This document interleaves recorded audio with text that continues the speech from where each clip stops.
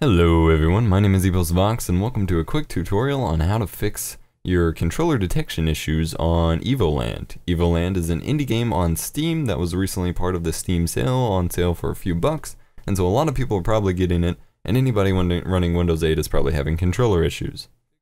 Now, I do have my official Microsoft wired Xbox 360 controller plugged in, so we're going to run the game here.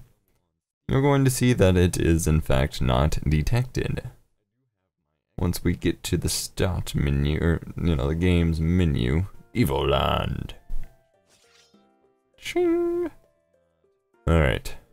Now we have the menu pop up, and I am unable to navigate the menus with my controller, so let's go to Options.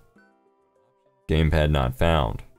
That means it's not detecting my controller, despite it being the basic gamepad for all games to do. So, in order to fix it, navigate to your Steam directory. So for me it's Games, Steam, then Steam Apps, Common, and find Evoland.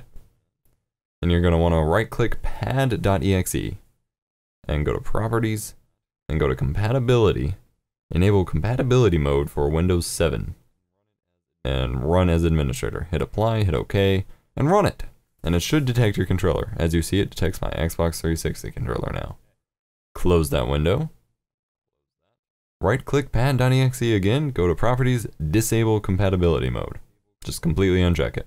Now leave run as an administrator on, but uncheck compatibility mode. Hit OK, right click evoland.exe, go to properties, compatibility, and enable run as administrator. Do not enable compatibility mode or you will run into some errors. But do run both pad.exe and evoland as administrator. Hit OK, and then you're perfectly fine to launch the game. As it launches up here, you'll see that it does in fact detect and work with my controller now.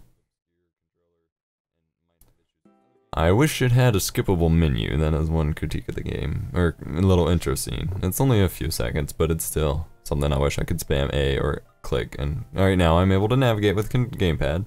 It has gamepad set up, you can set up your buttons, and you're good to go. Hope this helped some people out, hope this fixed your controller detection issues in Evoland. Thank you for watching guys, my name has been EposVox, and I will see you all next time. Thank you for watching.